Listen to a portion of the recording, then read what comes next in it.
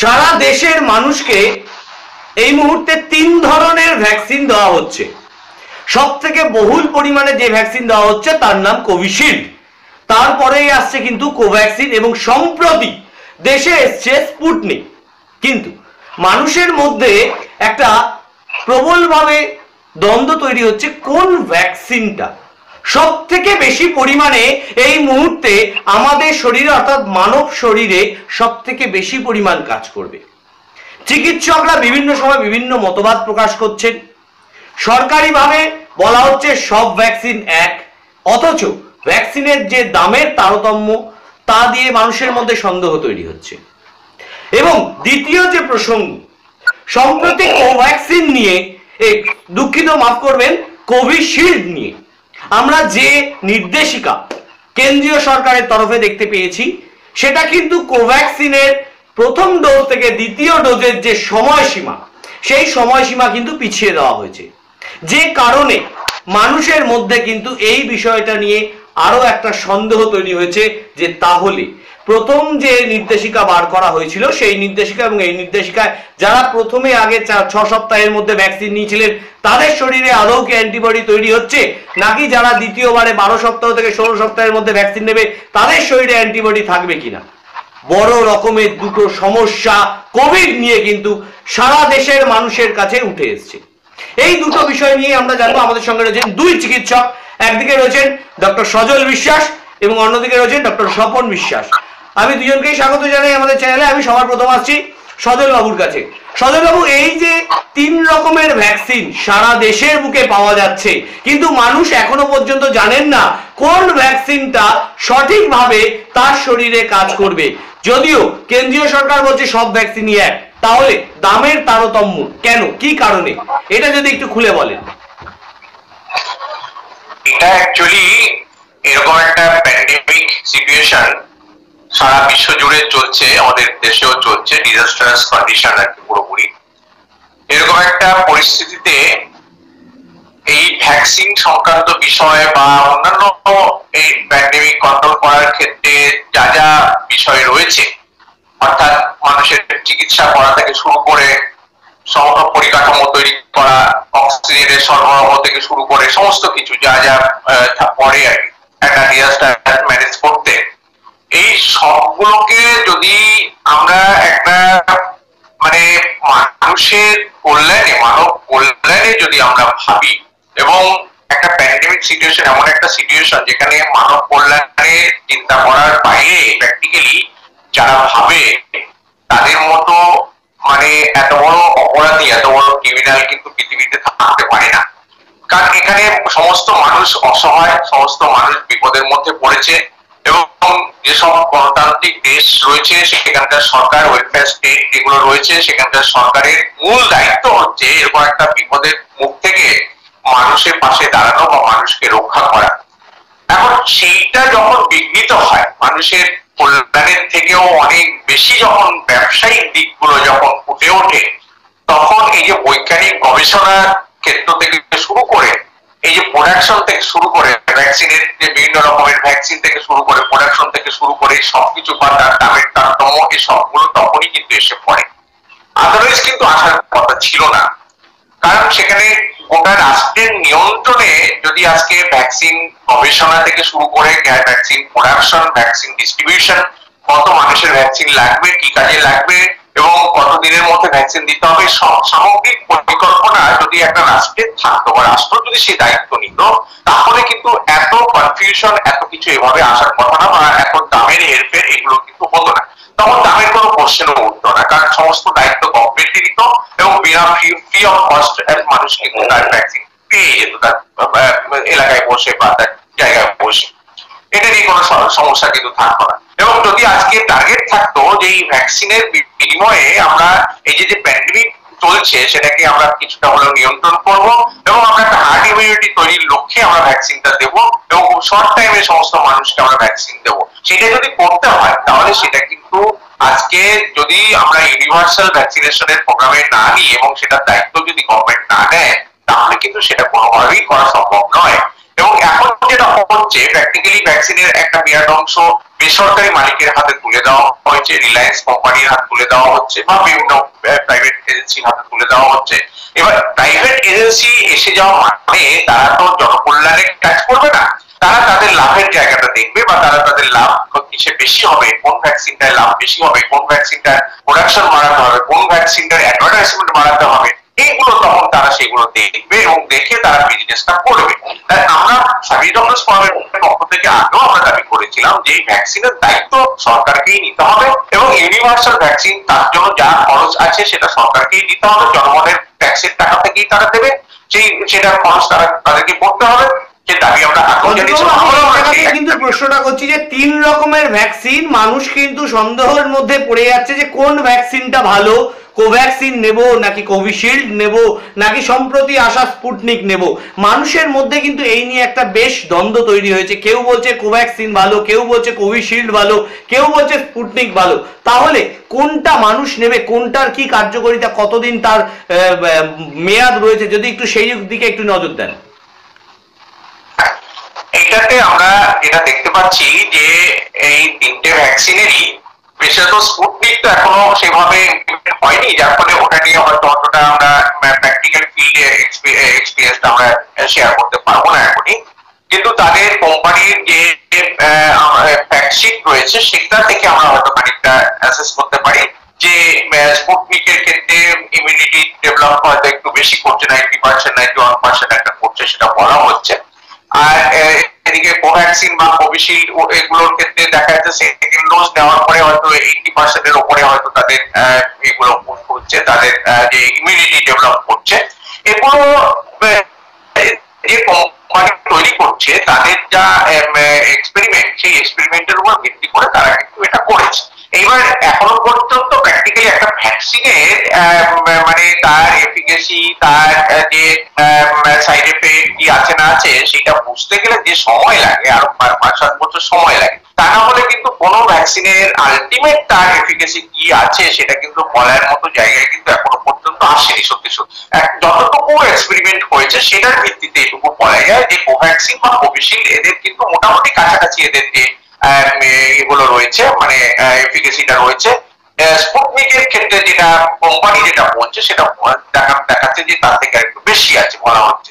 এখন এটা এখনই আমরা হয়তো ফাইনাল আউটকামটা বলতে পারব না। এটা আরও কিছুদিন চলুক ভ্যাকসিনেশন তখন হয়তো দু বছর পাঁচ বছর বাদে, তখন হয়তো আমরা দেখতে এক্স্যাক্টলি কোন ভ্যাকসিনে কতটা কাজ হয়েছে, না হয়েছে, সেটা আমরা তখন হয়তো আলটিমেট আউটকামটা বলা যাবে। এখন যেমন যে ভ্যাকসিনগুলো অলরেডি চলছে মিডিলস ভ্যাকসিন বা পোলিও ভ্যাকসিন বা এরকম যেসব ভ্যাকসিনগুলো চলছে বাজারে, সেই সব ভ্যাকসিন সম্পর্কে এখন যেমন বলা যায়, কারণ সেটা পাঁচ বছর, দশ বছর ধরে চলছে, তখন বলা যায়। কিন্তু এটা তো সবে শুরু হয়েছে। স্বাভাবিকভাবে এটা কোনটা ভালো, কোনটা মন্দ, সেটা কিন্তু মানে বলার মতো জায়গায় এখনও পর্যন্ত আসেনি। এটা হচ্ছে প্রথম কথা। দ্বিতীয় কথা হচ্ছে যে আজকে এই যে যেটা আমি প্রথমেই বলছিলাম যে একটা রাষ্ট্রের সরকার যদি এটা দায়িত্ব না নেয়, তার কন্ট্রোলে যদি না থাকে এবং তার যে রিসার্চের যে জায়গাটা, তার সেটা যদি তারা দায়িত্ব না নেয়, তাহলে কি হয়? এক একজন, এক একটা কোম্পানি তার লাভের স্বার্থে বা তার বিজনেসের স্বার্থে এক এক রকম রিসার্চ হয় এবং এক এক রকম মানে ডেটা আমরা দেখতে পাই। কিন্তু এটাকে গভর্নমেন্টকে দায়িত্ব দিয়ে এটা কিন্তু রেশনালাইজ করতে হবে এক্সাক্ট কোন ভ্যাকসিনের কি এফিকেসি আছে, কি তার সাইড এফেক্ট আছে সেটা গভর্নমেন্ট যদি দায়িত্ব নিয়ে তার নিজস্ব এজেন্সি নিজস্ব সাইন্টিস্ট যে এক্সপার্ট যে গ্রুপ রয়েছে এক্সপার্ট কমিটি তৈরি করে তাদের মাধ্যমে যদি এটা না মানে রেশনালাইজ করে, ততক্ষণ পর্যন্ত কিন্তু এটা আমরা শুধুমাত্র কোম্পানির মানে ওয়েবসাইটের ফেইথের উপরে কিন্তু আমাদের থাকতে হবে। এছাড়া কিন্তু উপায় নেই। অতএব এই সময়সীমার মধ্যে আমরা আমরা যেটা আগ্রহ দাবি করেছিলাম গভর্নমেন্টের কাছে যে সরকার দায়িত্ব নিক এবং এই এর যে গবেষণা গবেষণার দায়িত্বটাও সরকারি। এবং তাকে রেশনালাইজেশন করার যে এথিক্যাল কমিটির যে রেশনালাইজ করার দায়িত্ব সেটা সরকার মেটিকুলাসলি করুক। তা না হলে এই যে বিভিন্ন ভ্যাকসিনের বিভিন্ন এফিকেসি বিভিন্ন রকমের তার যে ডোজের যে ফারাকের কথা বলা হচ্ছে এই যে নানান রকমের বিভ্রান্তি দিনের পর দিন চলছে। আজকে প্রথমে একরকম বলা হচ্ছে দু মাস পরে আরেক রকম বলা হচ্ছে তারপরে আবার আরেক রকম বলা হচ্ছে। এর ফলে মানুষের মধ্যে বিভ্রান্তি থেকেই যাচ্ছে স্বাভাবিকভাবে এই জায়গাতেই আসব স্বপন বাবুর কাছে আমি ঠিক এই জায়গাতেই আসছি। স্বপন বাবু প্রথমে বলা হয়েছিল যে কোভিশিল্ডের ক্ষেত্রে চার সপ্তাহ থেকে ছ সপ্তাহের মধ্যে দ্বিতীয় ডোজ নিতে হবে। অর্থাৎ সেই সময়ের মধ্যে কিন্তু দেখা যাচ্ছে সরকারি তথ্য অনুযায়ী প্রায় আঠেরো কোটি মানুষ যারা কিন্তু সেকেন্ড ডোজ নিয়ে নিয়েছে সারা দেশ জুড়ে। আর সেই জায়গায় হঠাৎ করে এখন বলা হচ্ছে কোভিশিল্ডের সেকেন্ড ডোজটা বারো থেকে ষোলো সপ্তাহের মধ্যে নিতে হবে। তাহলে প্রশ্ন উঠছে যারা ছ থেকে চার থেকে ছ সপ্তাহের মধ্যে নিলেন তাদের শরীরে কি সেকেন্ড ডোজ কাজ করছে? যদি করে থাকে, তাহলে কেন সময়সীমাটা পেছনো হলো? দ্বিতীয়ত, যারা এখনও সেকেন্ড ডোজ নিতে পারেননি, যদি প্রথম ডোজের তুলনায় দেখা যায় যে চার থেকে ছ সপ্তাহ, যদি সেটা পেরিয়ে গিয়ে থাকে, বারো সপ্তাহ থেকে ষোলো সপ্তাহ হয়, তাহলে সেক্ষেত্রে সেকেন্ড ডোজ তাদের শরীরে কি কাজ করবে? এত বড় একটা সমস্যা তৈরি হয়েছে। এই নতুন অর্ডারের পরে এই জায়গাটা নিয়ে কিন্তু মানুষ জানতে চাইছে। যদি একটু এই বিষয়ের উপর আলোকপাত করেন। হ্যাঁ এটা শুরুর দিকে আমাদের হাতে যে তথ্যগুলো ছিল, তার ভিত্তিতে আমরা যে এক মাস পর মানে এক মাস পরে দ্বিতীয় ডোজ দেওয়া হচ্ছিল, সেটা যুক্তিযুক্তই ছিল।